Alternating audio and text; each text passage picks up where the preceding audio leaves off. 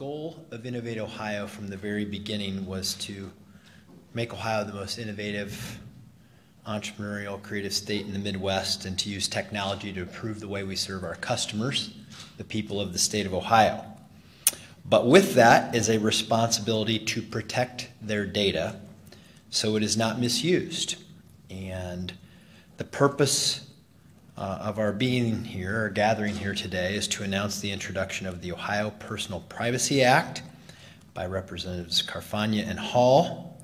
Uh, I very much appreciate uh, their leadership and willing to, to lead on this. Somebody who has established himself as a leader in, in uh, technology uh, and innovation in the legislature, and somebody who's going to be our leader into the future uh, on these issues. So uh, we appreciate their, their support and work. Uh, also, Carrie Kuruc uh, is with me. Carrie has uh, worked on regulatory matters uh, both at JCAR and the Secretary of State's office and then at CSI and does a great job in navigating these issues now at Innovate Ohio. And Kirk Herath. Kirk has um, been a great private sector contributor to what Ohio has done over the past, gosh, at least five years. Um, and uh, he's on the Innovate Ohio board. He chairs Cyber Ohio and recently retired as uh, nationwide vice president and associate general counsel, and most importantly, chief privacy officer. So he knows these issues well, and um, we. Uh, he helped us bring together a gr great group of privacy experts from the private sector and beyond to help put this today. So, why does it put this together today? Why does all this matter? Uh, important question I always ask, uh, and it's because a person's individual data is more exposed now more than uh, more than ever. Um, we continue to research uh, as consumers online, use online services. We purchase items online through computers, phones, tablets on a daily basis. Our digital exposure is only growing. This information is collected by our mobile operators, internet providers, device manufacturers, apps, and they use it for their own purposes or to sell it on occasion to other businesses. Each time the data is exchanged, it's potentially exposed the data and personal information, uh, that data and personal information, if misused, mishandled, or inadequately protected, can potentially result in identity theft, uh, financial fraud, and other problems, which in turn puts the burden on consumers to sort out and, in many instances, pay for with both their time and treasure. Uh, so today we're we're going to talk about how Ohio can better protect its citizens and give them more control over their digital presence. At the same time, this bill helps us to proactively work with the business community on their data privacy plans to better protect consumer data and, and improve their overall interactions with business. The business world knows that privacy protection must occur, and they've been a cooperative partner, partner in helping us put this bill together. So what is the problem that we're trying to solve? Uh, right now, the data privacy, data privacy for Ohioans is very limited, and protections, frankly, do, do not exist. Many businesses already have privacy standards in place, but these policies are not necessarily uniform, or do they go far enough in scope? Many of you might be aware that, that other states have begun to address these issues. California uh, recently uh, passed a bill, but frankly, our assessment was it was not very user friendly, particularly complex and burdensome, especially for small and mid sized companies. Virginia recently enacted legislation that is a step in the right direction, but ultimately, Congress has not acted in this space, so we as states must take the necessary steps to ensure that consumers are protected. And from the work that we have done, we believe and we aim to make Ohio's law a national model. Ohio set the bar in 2008 with the passage and enactment of Ohio, the Ohio Data Protection Act, which gives businesses who comply with outlined cybersecurity frameworks and affirmative def defense in cases of a data breach. We believe Ohio is once again taking the lead in personal protection, uh, uh in the lead with Ohio's Personal Privacy Act, which takes a sensible but firm approach to consumer data privacy.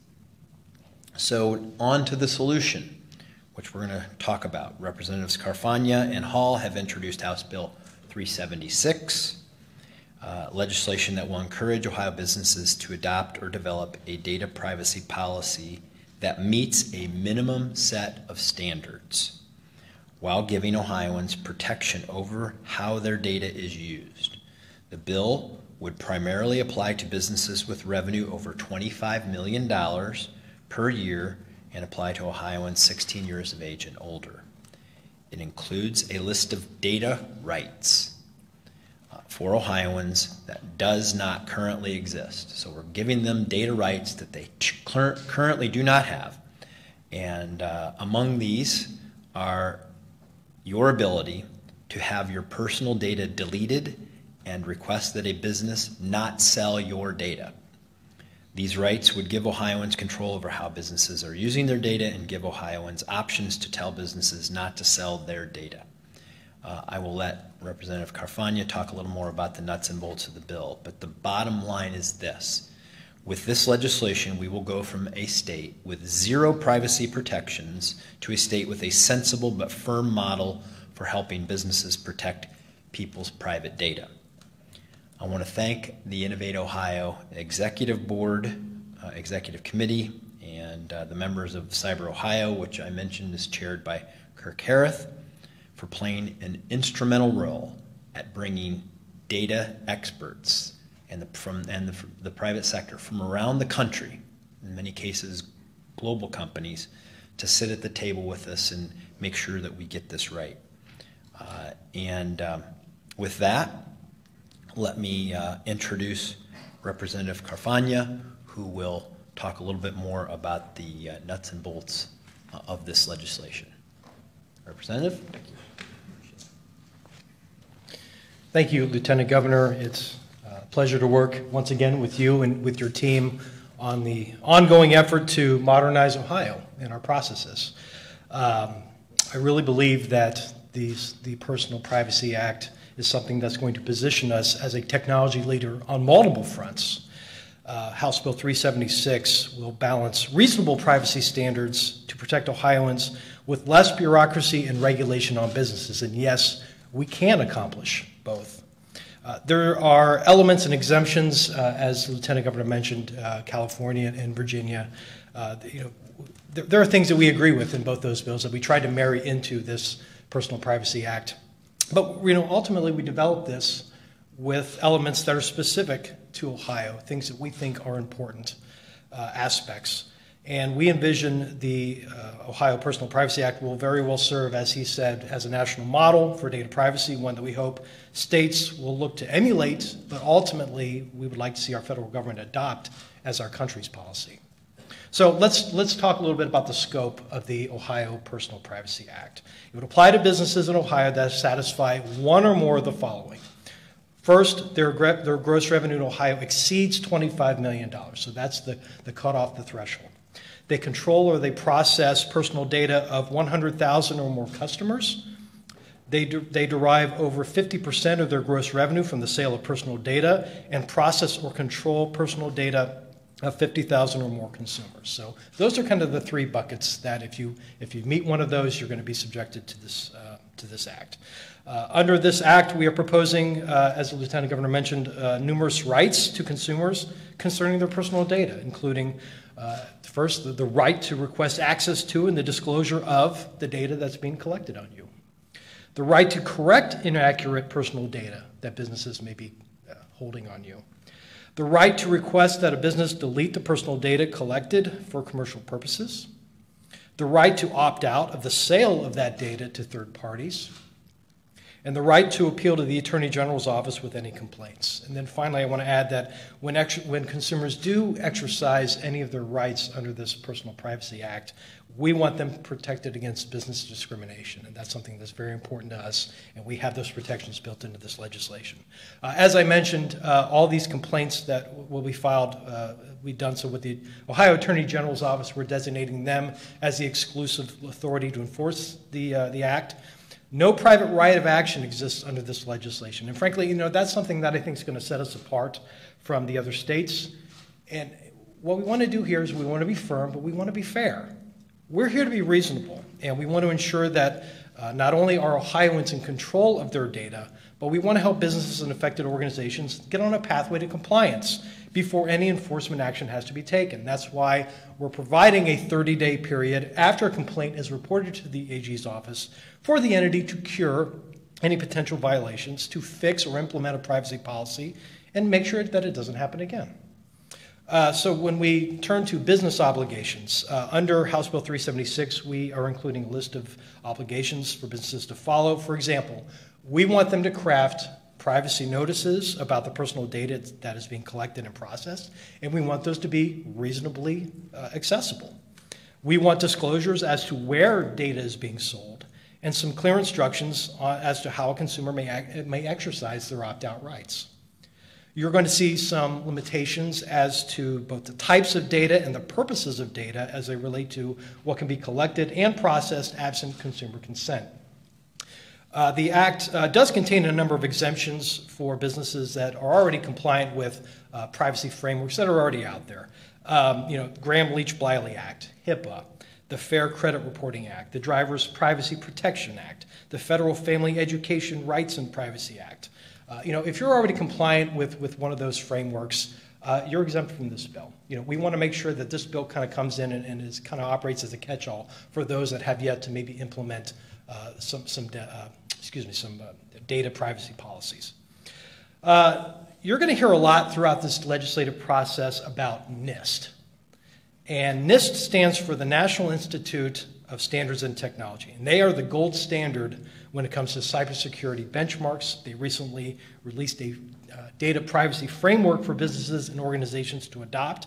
It's our preference to see businesses in Ohio create their own data privacy, data privacy programs that meet the NIST industry recommended standards. And what we want to do with this bill is take it a step further to encourage this by providing an affirmative defense against legal claims, so long as the business is operating under the NIST framework and they are requiring all of the rights and the obligations that are outlined in this legislation. Again, let's be firm, but let's be fair.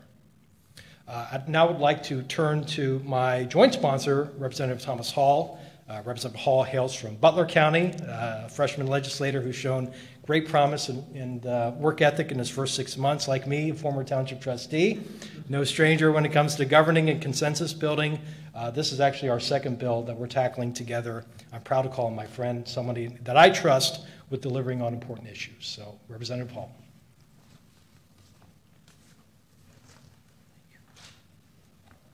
Good morning, and thank you all for uh, being with us today. Um, I'm thrilled to join Lieutenant Governor Husted, uh, Innovate Ohio, and my colleague, Representative Carfagna, in announcing legislation that will empower and protect Ohioans in regard to their personal information.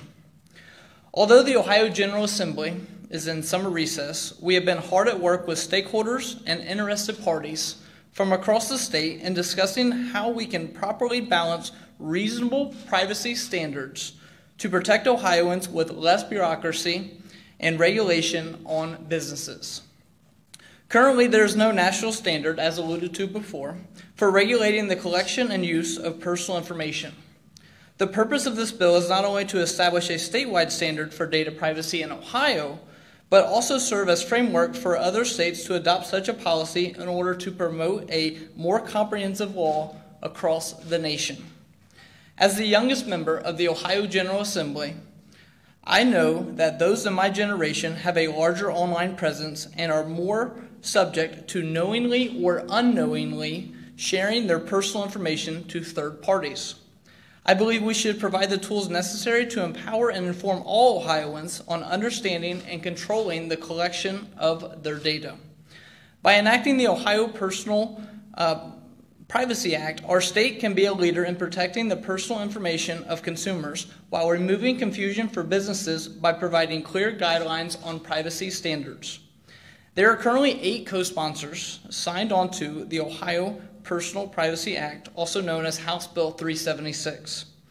Giving Ohioans more control over their digital presence is an issue I believe all lawmakers can get behind on.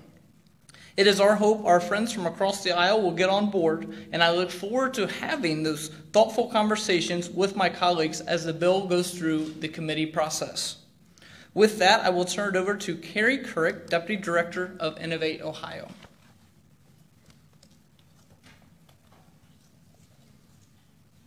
Thank you, Representative Hall. The bill we're introducing today represents over a year's worth of focus by Innovate Ohio, the Cyber Ohio Advisory Board, and numerous interested parties. We began using the data privacy legislation in California and Virginia as a starting point, but our goal isn't to copy, we want to lead. We wanted to craft data privacy legislation that other states and the federal government can use as a model. So we engaged in six months of rigorous, interested party discussions that culminated in a large virtual meeting at the end of March that was attended by nearly 100 participants. Their ideas and feedback are reflected throughout House Bill 376. It represents a collaboration of many industries technology, healthcare, finance, and business, among others. Innovate Ohio understands that many businesses already have privacy standards in place, but our goal with this bill is to create universal privacy standards that Ohio businesses can follow so they can better serve their customers. We want to ensure that Ohioans have necessary protections in place while still offering Ohio businesses flexibility and affordability to implement privacy standards. And we believe that House Bill 376 reflects this goal, so we're proud to introduce it today. With that, I'd like to introduce Kirk Herath, Chair of the Cyber Ohio Advisory Board.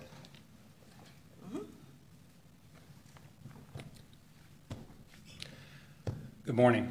My name is Kirk Herath. I have the honor and privilege of chairing the Cyber Ohio Advisory Board, which uh, originally started under the Attorney General's office uh, when Governor DeWine was Attorney General, and we were imported over. And we found a home in Innovate, Ohio, and we have uh, been working closely with Lieutenant Governor and the Innovate Ohio Executive Board on a number of issues over the last couple years. I want to thank the Lieutenant Governor for his leadership and his guidance along the way. He tasked us, uh, it's been almost uh, two years ago, with starting to think about this. And as, as Carrie said, about a year ago, it, it started in earnest. Uh, we obviously got uh, sidetracked by COVID, as, as most people did. I want to thank Representatives Hall and Carfagna for their, for their leadership and for their support and for the collaboration with their, their staffs over the, uh, over the last six months as Carrie said, we, we had a lot of input from a lot of sectors, um, public and private. I think we may have had the largest interested party meeting of in the history of the state of Ohio. It's, it's great, you know, Zoom, you can get a lot of people on, on electric call. The culmination of this really in the Ohio Personal Privacy Act is a win-win for both business and consumers. As was explained already, the consumers get a series of new rights that uh, in many cases are not available today. Business, on the other hand, also gets some clear standards. As was, as was already said, we, we looked at, we looked at uh, California, we looked at, at, Virginia, we also looked at a lot of other proposals. I've, I've been doing this for over 20 years uh, as a privacy professional. And there's a, the spine through this is fairly, is very consistent with what I say, would say is, is a national norm. You know, access, correction, deletion, opt-outs. Um, that's very consistent. Where we think we are innovative uh, is the use of the, of the NIST P framework to provide a safe harbor for Ohio businesses. It provides flexibility and scalability, right? It's not a one size fits all. California was very, very much one size fits all. Uh, very disruptive to small medium businesses. A lot of very unnecessary expenses for very little benefit. There's no private right of action, but there is strict enforcement by the Attorney General. The NIST privacy framework does provide a, a really solid, uh, safe harbor from enforcement. Uh, again, it's, and as was explained by Representative Carfagna, there is a right to cure for inadvertent errors, right? There, there is, there's no perfection. Um, and so you will have 30 days to cure if, if there's a complaint. I can tell you, having, having run privacy programs, you can't build a privacy program in 30 years. So it's got to be an error, it's got to be small, and it's got to be curable. And then it acknowledges existing strong standards that have been around for 20 or 30 years, right? HIPAA, Gramm-Leach Bliley, FCRA, uh, FERPA for uh, uh, universities and public institutions. And then, as has been stated by Lieutenant Governor and, and the others, we believe that the NIST framework standard, like with the Ohio Data Protection Act using NIST cybersecurity framework, will become a, will become a national standard that other states will adopt. We believe that NIST is the national standard because it is it's nonpartisan, it's universally supported by all industries and private sector groups, and it provides again the consistency and flexibility, and it evolves.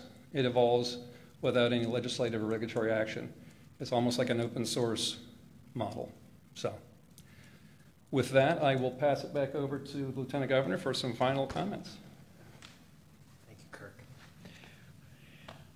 Um, as Kirk mentioned, you know, Cyber Ohio was something uh, we couldn't do this without with our two attorney generals, Mike DeWine when he was attorney general, uh, and now Dave Yost, both uh, obviously very supportive of what we're trying to do today.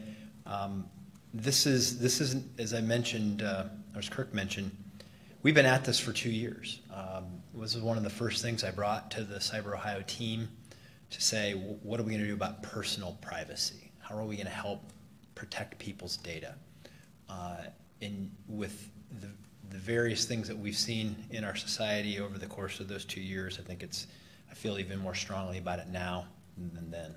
So appreciate everybody's hard work in this, and we're happy to take uh, questions that you might have.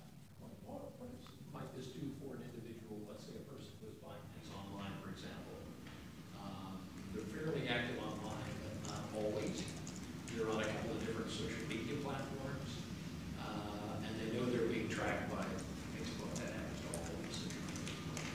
What can this do for us? So, first of all, you have a new set of rights um, and a new set of standards, meaning that um, the companies that you're using their platforms have to protect your data according to a minimum set of standards that uh, will be prescribed in the law. And if you feel like your data is being misused, you now have the right to find out how it's being misused and to have it deleted. Um, those are the two things that jump out to me about it, but I, I will uh, defer to others who, Kirk or others who may want to add something to that.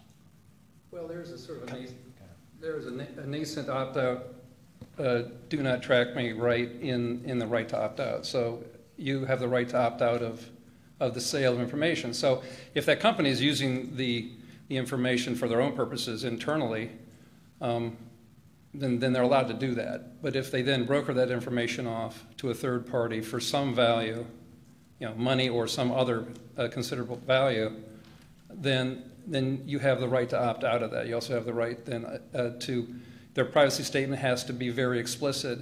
Their online statement is very explicit that they do sell information to third parties for the third parties for their own benefit.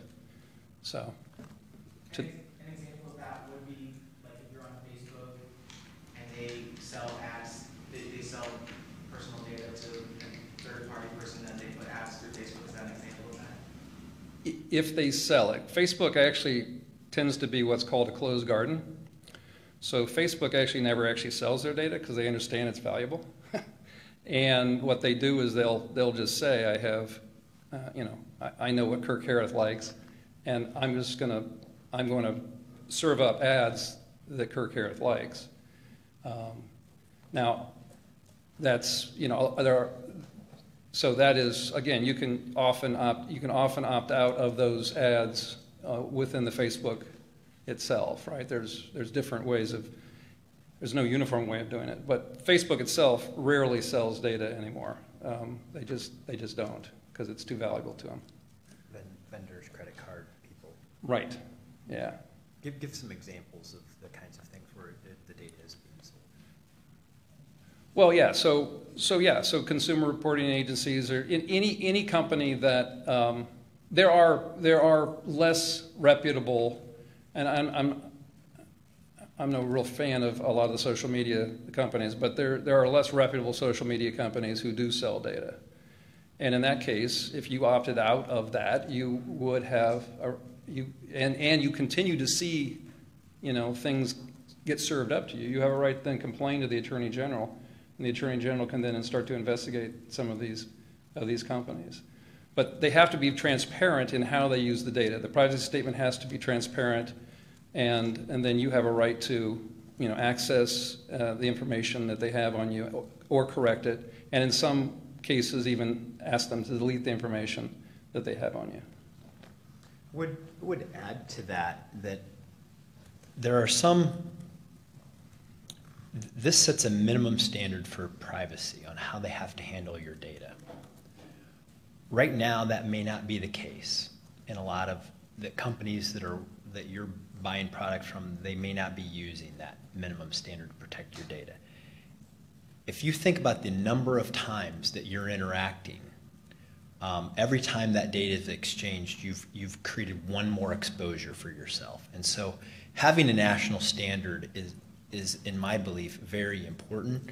But having a national standard that works for everybody smoothly is, is essential. We believe through the hard work that this group has done that, that we are, uh, we are going to be that national standard. Jim? Can you discuss for a second about how this might potentially affect governments? I'm thinking of newer motor vehicles, which uh, share a driver, a limited amount of driver information with other people who purchase that. Well, we, we, we have standards for the way BMV operates uh, that are compliant with these regulations. So it would, it would, um, um, it would be, you know, that, those would be covered. So if you're sharing information, if you're sharing information, Kirk and I talked about this just before we came here. If you're sharing information that is in a, that is part of providing the service to the customer, where you're not selling it or doing anything like that, that's a necessary element of the service. To opt out of that would mean that you couldn't you couldn't have the service. So we're talking about when people sell your data, use your data for financial gain, not just how they use your data for the purposes of providing you a service. Could you talk about how this might uh, attract, could it attract businesses to Ohio, or could it lead to them leaving? And could you also, for the sponsors, talk about the timeline for this bill? Well, well, we actually passed, uh, the state of Ohio passed the Ohio Data Protect- Protection Act in 2018, which, which is a very attractive element of bringing businesses to Ohio because it protects them so long as they meet these standards. We're now, uh, we're now trying to provide uh, a, a baseline of standards that we believe are, um, um, will continue to create that kind of predictable environment for how businesses and consumers are treated, which we believe ultimately is attractive for business. We, we consulted all types of businesses and institutions in the development of this legislation because they had found um, other states like California detrimental to that environment. And I think that when you see what Ohio is doing compared to what California is doing, it make Ohio much more a welcoming place. So for, for example, so, um, you know, I was thinking about it, I have, I have two little girls, and like, so, you know, we go back to school shopping, and like, Gap or Abercrombie, like, they're an Ohio business, so like, um, I can go to them and say like, hey, like, you know, do you, are you you tracking like every single purchase I've swiped with my credit card? And if so, can you delete that? Because I get like targeted ads based on like, you know, what I buy for my kids. So I assume they know every t-shirt and pair of shorts and swimsuit that I bought. I'm gonna, I'm gonna let Kirk, uh, I, I'd go through that particular answer to that particular question, uh, and then what he doesn't answer, I'll try to. So individual companies, uh, they, you know, loyalty, loyalty cards and such, those, those would be permissible under this? Which is sort of saying I want the reward. Exactly.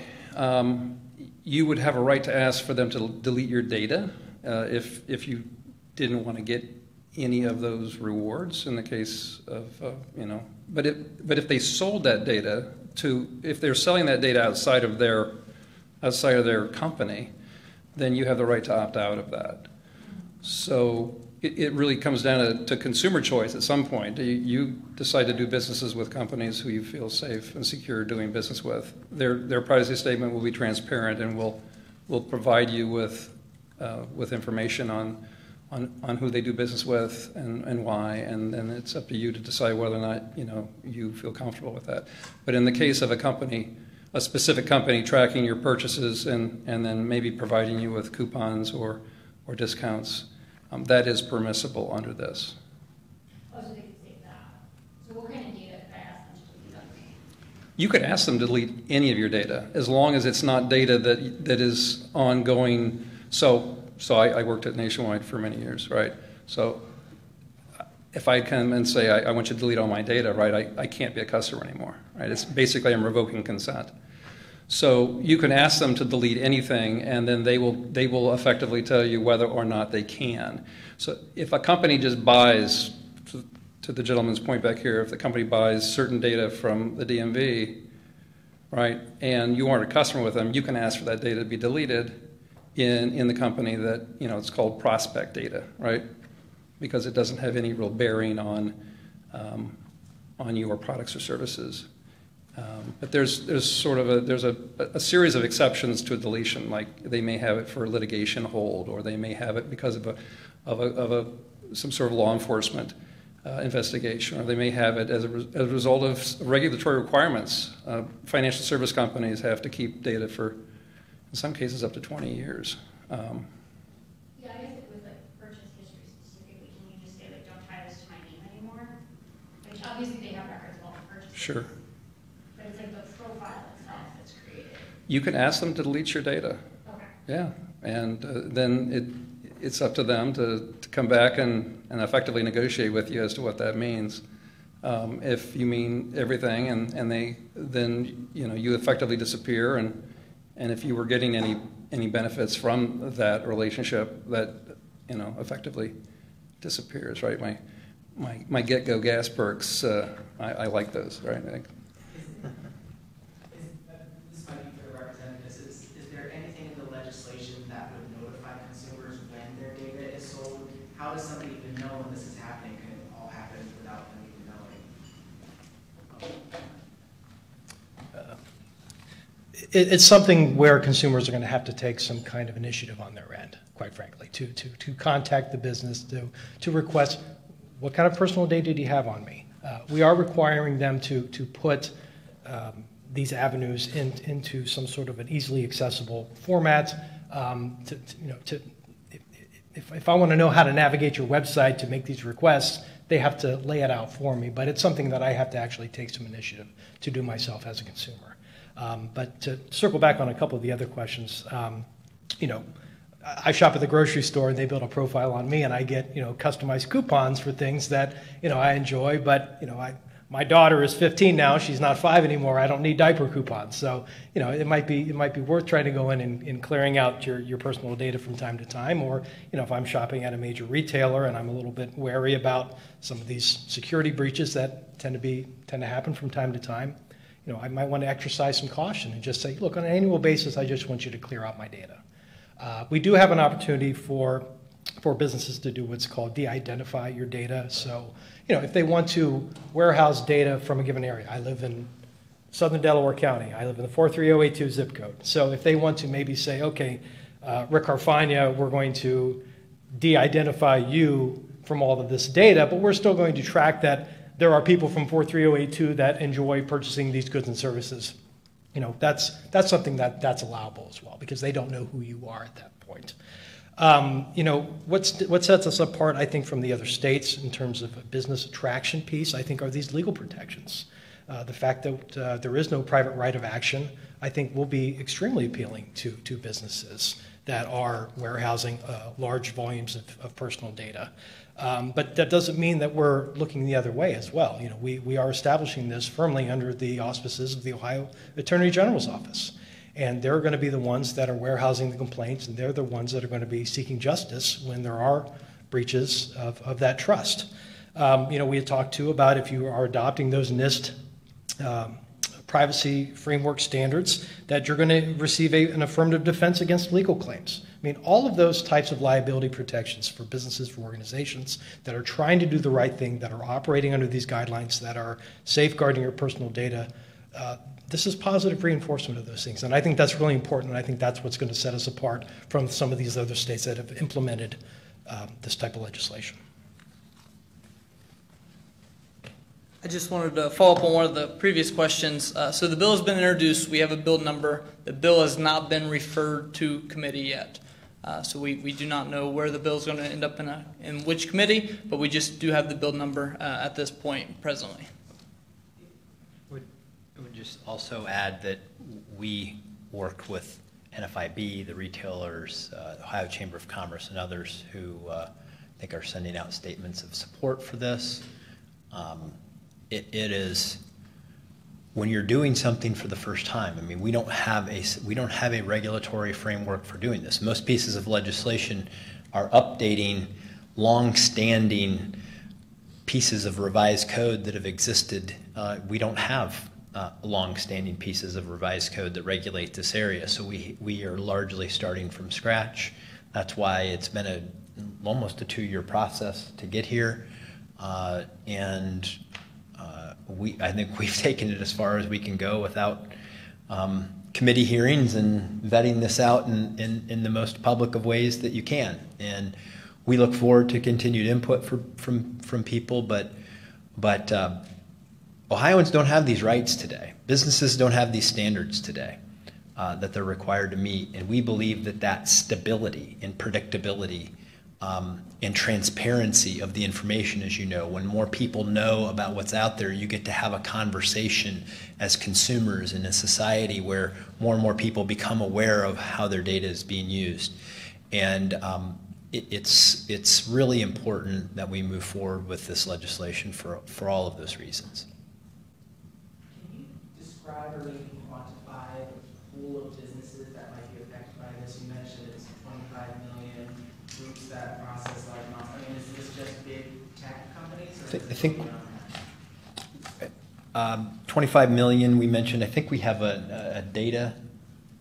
I think what is it? A, a, data standard of how many, how much data you have. Yeah, it was. Uh, excuse me. 25 million in gross revenue for Ohio. Uh, if you control or process personal data of 100,000 or more consumers, uh, so you could technically be a small operation, but you know if you're warehousing that, that large a volume of data, you're going to be subjected to this, uh, unless you're already exempt because you're following another framework. Uh, and then the last bucket is they derive over 50% of their gross revenue from the sale of personal data and process or control personal data of 50,000 or more consumers. Uh, not off the top of my head. I know there have been discussions with the NFIB. You know, they, they obviously represent the, the smaller um, entrepreneurs. Uh, it'll be a very small fraction of their membership. We know that. Uh, uh but you know, again, a, a lot of the larger uh, retailers, uh, tech tech companies, we hope that we trust that they're already compliant with a number of these other frameworks that are out there. And if they're not, or if you're kind of a medium-sized business and you're on the cusp of, of you know, crossing these thresholds, then we want to get you on that right pathway. We want you to adopt, hopefully, the NIST privacy framework or one of these other um, exemptions.